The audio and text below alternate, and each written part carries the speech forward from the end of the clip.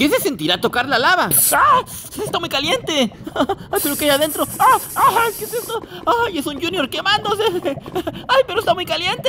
¡Ah! ¡Ah! ¡Se la creyeron! Solo es un filtro, chicos. Es lodo y agua.